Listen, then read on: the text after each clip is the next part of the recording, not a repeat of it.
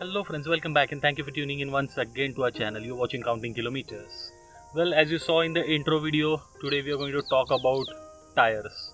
Tires you can say is one of the extremely important parts of your motorcycle or car or any vehicle because आप हवा में तो उड़ नहीं सकते जो भी है आपको रोड से कनेक्टेड रखने वाली चीज़ होती है टायर्स टायर्स आपको किस तरह से सिलेक्ट करने चाहिए और टायर सिलेक्शन में क्या क्या चीज़ें होती है। आजकल बहुत जगह पे ये सुनने को मिलता है कि मुझे बड़ा टायर डालना है, टायर अपसाइज करना है, या फिर if you look into super bikes और मोर प्रीमियम बाइक्स जिसमें ज़्यादा बड़े टायर्स होते हैं तो ये टायर्स इजीली अवेलेबल नहीं होते तो फिर लोग सोचते हैं कि टायर डाउन साइज़ करना है, थोड़ा छोटा टायर अगर लूँगा तो इजीली अवेलेबल होगा।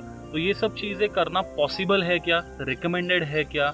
और अगर करना है तो किस तरह से करना चाहिए सो दैट आपकी बाइक को उसका इफ़ेक्ट ना हो? मतलब आपका जो आफ्टर ऑल सेफ्टी कंसर्न है कि बाइक आपकी रास्ते पे ठीक से चलनी चाहिए। ये चीज़ ध्यान में रखते हुए कैसे आप टायर्स के साथ खेल सकते हो?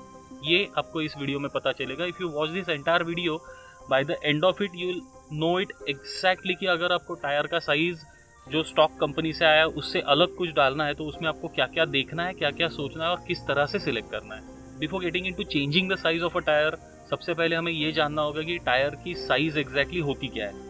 आप जब भी किसी टायर को एकदम क्लोजअप में देखोगे, उस पर कुछ इन्फॉर्मेशन लिखी हुई होती है तो वो इन्फॉर्मेशन कुछ ऐसी दिखती है। लाइक फॉर एग्ज़ाम्पल अगर आप इसकी बेनेली की बात करेंगे तो बेनेली का रेयर टायर आ रहा है one sixty slash sixty R seventeen ये उस पर लिखा हुआ आता है। इसका एग्जैक्टली exactly मतलब क्या होता है? ये आपकी गाड़ी के टायर पे या किसी भी टायर पे यही फॉर्मेट में लिखा हुआ होता है। तो ये सबसे पहले हमें देखना है कि इसका मतलब क्या है। So the first and foremost ये जो 160 लिखा हुआ है that is the width of the tyre so 160 sixty means इस टायर की विड्थ जो है, वो 160 सिक्सटी mm है।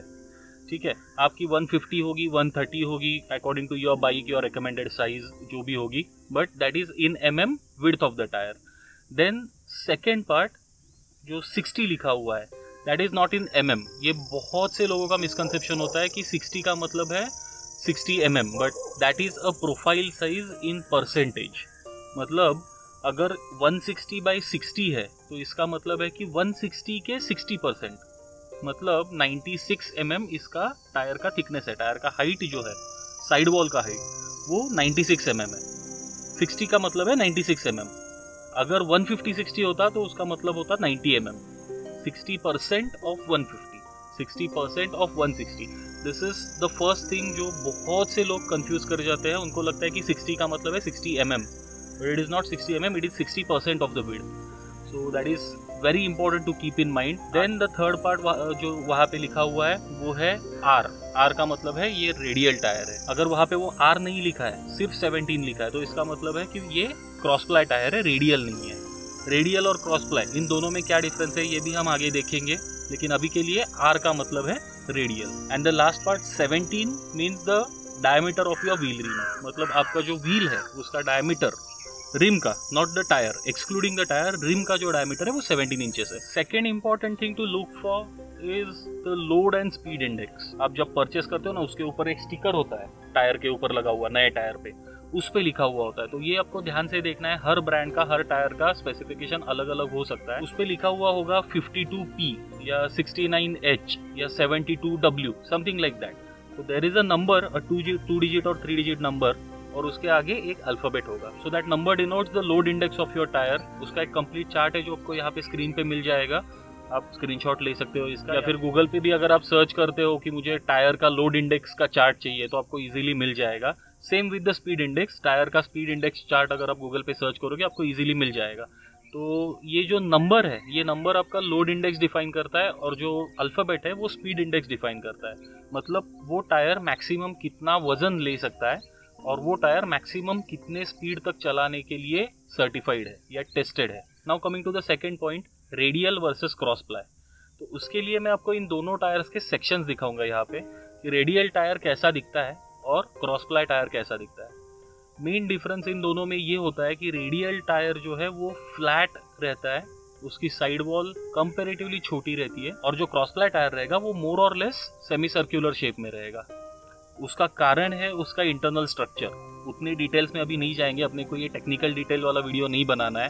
तो जस्ट रिमेंबर कि आपको 150 फिफ्टी एम विड्थ वाला रेडियल टायर और 150 फिफ्टी एम विड्थ वाला क्रॉस प्लाई टायर इसमें रेडियल ज़्यादा ब्रॉड दिखेगा. दोनों के अपने अलग अलग फ़ायदे हैं, दोनों के अपने अलग अलग डिसएडवांटेजेस भी है.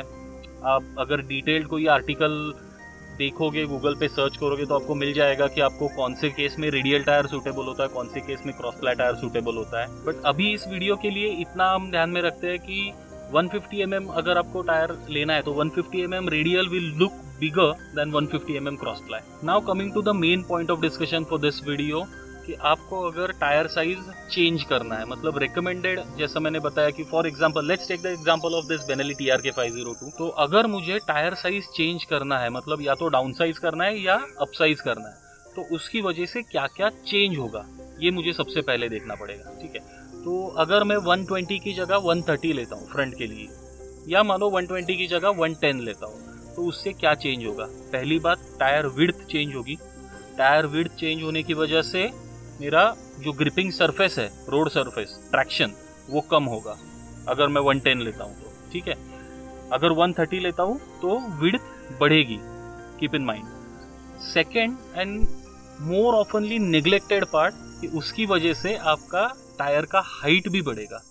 अगर आप 130 लेते हो तो इसका मतलब है 130 थर्टी बाई सिक्सटी आप अगर लोगे तो 130 का 60 परसेंट मतलब आपका जो टायर का हाइट है वो 72 टू mm से बढ़ के 78 mm हो जाता है। 6 mm टायर का हाइट बढ़ेगा मतलब जो टोटल डायमीटर है, वो 12 एम mm बढ़ेगा। बाइक की हाइट बढ़ेगी 6 एम mm आपका ग्राउंड क्लियरेंस बढ़ेगा मतलब 6 एम mm आपकी सीट हाइट भी बढ़ेगी। इतनी सारी चीज़ें चेंज होती है जब आप 10 mm एक्स्ट्रा साइज़ का टायर लेते हो। वैसे वर्षा अगर आप छोटा टायर लेते हो तो 110 टेन बाई सिक्सटी अगर आप टायर लोगे तो 110 टेन बाई सिक्सटी का जो टायर हाइट है, वो आपका 66 सिक्स mm होगा। मतलब 6 mm आपका ग्राउंड क्लियरेंस भी कम होगा और 6 mm आपका सीट हाइट भी कम होगा। So when you are talking about changing the size of a tyre for bike like this six M M reduction in ground clearance can be a big part आप off roading का आपका जो capability है ना, वो बहुत कम हो सकता है, अगर आप टायर को डाउन साइज़ करोगे तो। This is just a point to consider ठीक है? If you are not changing the tyre sizes 160 by 60 आपने कांस्टेंट रखा है 120 बाई 60 आपने कांस्टेंट रखा है। लेकिन अगर आप रेडियल की जगह क्रॉस प्लाई टायर लेते हो तो जैसा हमने देखा कि रेडियल टायर मोर और लेस फ्लैट होता है और जो क्रॉस प्लाई टायर है, वो मोर और लेस सर्कुलर होता है। तो इसका मतलब ये होगा कि सेम साइज़ का रेडियल टायर अगर आप निकाल के सेम साइज़ का क्रॉस प्लाई टायर भी लगाते हो ना तो बाइक की हाइट बढ़ेगी क्योंकि cross ply tyre semi circular होता है उससे बाइक की हाइट थोड़ी सी बढ़ने वाली है and then the most important part जिसके बारे में बहुत से कम लोग सोचते हैं बहुत से कम लोग वहाँ तक पहुँच पाते हैं कि यार ये चीज़ भी अफेक्ट होने वाली है सबसे इम्पोर्टेंट है आज की तारीख में क्योंकि आज इंडिया में बिकने वाली हर बाइक में एबीएस कंपलसरी है A B S ABS will be affected if you change the tire size. First of all, do you know how ABS is working? ABS आपके हर टायर का सेपरेटली स्पीड कैलकुलेट करता है। Disc जो आपका होता है, उसके अंदर जो एबीएस का छोटा सेंसर होता है, वो हर टायर का सेपरेटली स्पीड कैलकुलेट करता है। मतलब आपका फ्रंट टायर का करंट स्पीड इतना है रेयर टायर का करंट स्पीड इतना है एंड द एबीएस कंप्यूटर जो सिस्टम है आपका सॉफ्टवेयर वो दोनों टायर्स का स्पीड सेम मेंटेन करने की कोशिश करेगा। ठीक है? I go slowly about this क्योंकि थोड़ा सा ये टेक्निकल पार्ट में हम जाने ही वाले हैं। Let's say your front wheel is running at 70 kilometre per hour rear wheel is running at 70 kilometre per hour जब आप कोई एक ब्रेक अप्लाई करते हो तो एक व्हील का स्पीड कम होने लगता है इसको जज करके कंप्यूट करके उसके हिसाब से ABS will automatically apply the brake on the second wheel also or release the brake on this wheel also so that to maintain the speed of both the wheels at a constant level दोनों का 60 मतलब अगर पीछे का 60 पे आता है तो वो आगे का व्हील भी 60 पे लाने की कोशिश करेगा। If that is not happening तो वो पीछे का ब्रेक भी थोड़ा सा रिलीज़ करेगा। This is how your A B S work now if you change the tyre size what happens is आपका टायर का डायमीटर चेंज होता है। टायर का डायमीटर चेंज होने का मतलब ये है कि आपका टायर जो है एक रोटेशन में ज़्यादा डिस्टेंस कवर करेगा या कम डिस्टेंस कवर करेगा depending on if you are upsizing और डाउन साइजिंग अल्टीमेटली इसका मतलब ये है कि कंप्यूटर को जो फ़ीड किया गया है, बताया गया है कि एक रोटेशन में आपका जो टायर है, वो इतने मीटर्स चलेगा। उस वैल्यू को आप बदल रहे हो। शायद वो आधा मीटर एक्स्ट्रा चलेगा या आधा मीटर कम चलेगा whatever it is depending on the tyre size that you are taking लेकिन वो वैल्यू बदलेगी। So, your front tire is actually doing 72 kilometers an hour, but the computer is reading it as 70 kilometers an hour. इसका मतलब आपके ABS में error आएगा, अगर आप टायर साइज़ चेंज करते हो तो। सो डज दैट मीन कि आप ABS बाइक में टायर साइज़ चेंज कर ही नहीं सकते? तो ऐसा नहीं है। You can still do that लेकिन उसके लिए आपको दो चीज़ें करनी पड़ेंगी। एक तो अगर आपको एक ही टायर चेंज करना है तो उसके हिसाब से आपको ABS को रिप्रोग्राम करना पड़ेगा which is a tedious process expert उसके लिए आपको कोई हायर करना पड़ेगा या किसी के पास लेके जाना पड़ेगा। और alternatively what you can do is आप दोनों टायर्स एक साथ साइज़ चेंज करो। इस हिसाब से कि जितना आप एरर फ्रंट टायर में इंड्यूस कर रहे हो, उतना ही एरर रेयर टायर में भी इंड्यूस हो जाए। Let's talk about my bike only मेरी बाइक में जो फ्रंट टायर है that is 120 twenty by seventy R seventeen और रेयर टायर जो है, वो है 160 sixty by sixty R seventeen अगर मुझे टायर साइज़ चेंज करना है तो अगर मैं सोचूँगा कि मैं 120 ट्वेंटी बाई सेवेंटी की जगह 110 टेन बाई सेवेंटी ले लूँ। 110 टेन बाई सेवेंटी इसलिए क्योंकि 110 ten by seventy easily available है इंडियन मार्केट में क्योंकि डोमिनार में वही फ्रंट टायर आता है ड्यूक में वही आता है बहुत सी बाइक्स में वही टायर आता है। तो 110 टेन बाई सेवेंटी मुझे ईजिली मिल जाएगा 120 ट्वेंटी बाई सेवेंटी शायद मिलेगा नहीं। तो मैं सोच सकता हूँ कि मैं 120 ट्वेंटी बाई सेवेंटी की जगह 110 टेन बाई सेवेंटी डाल दूँ ठीक है? इफ़ आई डू दैट तो 120 ट्वेंटी बाई सेवेंटी मतलब आज की तारीख में मेरे टायर का जो प्रोफ़ाइल है 84 फोर mm, उसकी जगह पे वो हो जाएगा 77 सेवन एम mm. सात एम mm मेरा टायर प्रोफ़ाइल कम हो जाएगा। इसका मतलब 14 एम mm मेरे व्हील का डायमीटर कम हो जाएगा। उस हिसाब से ए बी एस में एरर आने वाला है।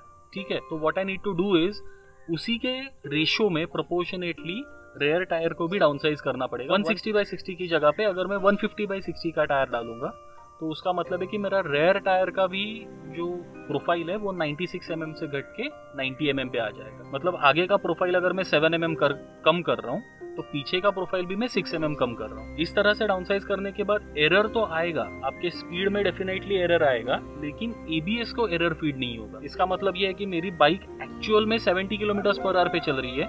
स्पीडोमीटर में मुझे 72 किलोमीटर पर आवर दिख रहा है, लेकिन एबीएस को फ्रंट और रेयर दोनों टायर से 72 का ही डेटा जा रहा है। इसका मतलब यह है कि दोनों टायर्स का स्पीड उसको सेम दिख रहा है अलग अलग नहीं दिख रहा है। जस्ट बिकॉज़ मैंने दोनों टायर्स को रिलेटिवली डाउन साइज़ किया अगर मैं एक ही टायर को डाउन साइज़ करूँगा तो आगे से डेटा 72 जाएगा, पीछे से डेटा 70 जाएगा and your ABS will be messed up this is very important to consider क्योंकि आज की तारीख में सारी बाइक जैसा मैंने कहा एबीएस इक्विप्ड आती है तो एबीएस इक्विप्ड बाइक में टायर डाउन साइज़ या अपसाइज करते वक्त ये आपको सोचना ही पड़ेगा। आप सिर्फ़ एक टायर को साइज़ चेंज नहीं कर सकते because you are playing directly with your safety now apart from this ABS thing there are number of different factors जो अफेक्ट करते हैं टायर साइज़ चेंज करने में। जैसे कि फ्रंट में ये फेंडर होता है रेयर व्हील में आपके मोनोशॉक के साइड में एक मड फ्लैप होता है, फिर आपके टायर के साइड से स्विंगाम आएगा। तो ये सारी चीज़ें जो है, ये अफेक्ट करेगी आप कितना टायर को अपसाइज कर सकते हो। क्योंकि ज़्यादा अगर आप बड़ा टायर लोगे तो वो स्विंग आर्म में ब्रश होगा या फिर मड फ्लैप में अटकेगा या फिर आगे के फेंडर में ब्रश करेगा। ये लिमिट हर बाइक में अलग अलग होगा। उससे अगर आपको ज़्यादा जाना है तो फिर आपको फिर स्विंग आर्म चेंज करना पड़ेगा या फेंडर निकाल देना पड़ेगा।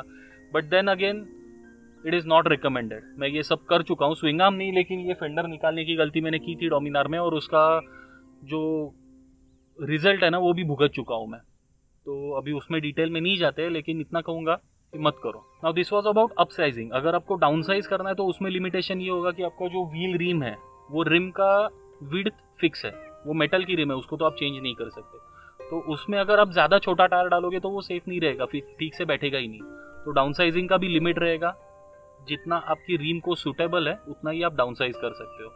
So these are all the points that you need to consider while upsizing और downsizing द टायर अगेन इसमें और एक चीज़ बहुत इंपॉर्टेंट आती है जो मैंने पहले भी बताया कि आपको टायर साइज़ चेंज करने की वजह से आपका ग्राउंड क्लियरेंस अफेक्ट होने वाला है। जैसा मैंने बताया कि एबीएस के हिसाब से अगर मैं करने जाऊँगा तो दोनों टायर्स को 10 एम mm कम करके मैं एबीएस को तो सेटल कर सकता हूँ। लेकिन दोनों टायर को 10 एम mm कर कम करने की वजह से मैंने अपनी बाइक का ग्राउंड क्लियरेंस जो है वो छः से सात एम के बीच में कम करा लिया है। तो इसका मतलब ये होगा कि अगर मैं कहीं पे ट्रेल्स पे चलाने जाऊँगा या फिर इन फ्यूचर चलो मैं इसको लद्दाख या स्पीति लेके गया या कहीं भी खराब रास्ते में लेके गया तो इंजन मेरा जो ऑयल सम्प है, वो नीचे डैश होने के चांसेस बढ़ जाते हैं। तो अब ये मुझे डिसाइड करना है कि मुझे टायर डाउन साइज़ करना है या मुझे ग्राउंड क्लियरेंस मेंटेन करना है। ये टोटली मेरा डिसीज़न होगा अपने चॉइस के हिसाब से। अगर मुझे सिर्फ़ हाईवे पे बाइक चलानी है तो शायद मैं डाउन साइजिंग का ऑप्शन ले सकता हूँ।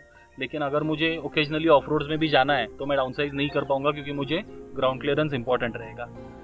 ये सारी चीज़ें आपको ध्यान में रखनी पड़ेगी। ये सब अगर आप सोचोगे तो उसके हिसाब से आप एक परफेक्ट डिसीज़न ले पाओगे कि आप अपने बाइक का टायर साइज़ चेंज कर सकते हो या नहीं कर सकते।